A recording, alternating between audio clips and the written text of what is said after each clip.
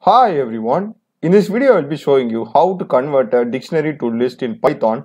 So I'll be showing you three variations how you can do this. The first one will be converting this entire dictionary to a list. And the second variation will be converting only the key present in the dictionary to list. And third one is going to be converting the values present inside a dictionary to list. So I'll be showing you these three variations and let's get started. So first let me declare a list, let L be my list equal to so first method converting entire dictionary into a list, right? So it's going to be d dot items. That's it. And we need to have a list function at the front to convert them. Okay. Just have it like this and it's going to be print L my list. Okay, that's it.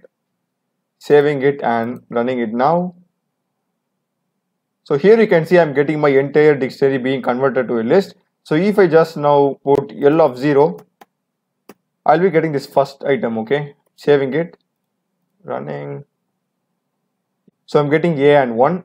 So this is how you convert the entire dictionary. And second one is going to be converting only the key.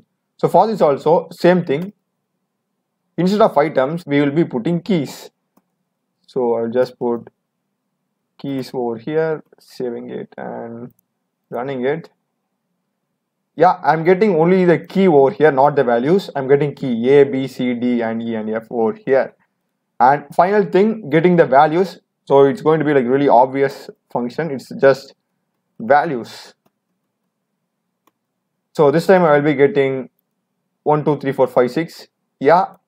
So these are some of the ways you can convert dictionary to a list and use them upon your need and I hope you would have found this video useful. I have also run many other programming videos in Python, C, C++, Java, Blender, Unity, Node.js, React.js. So do check other videos of my channel, subscribe me. Thanks for watching.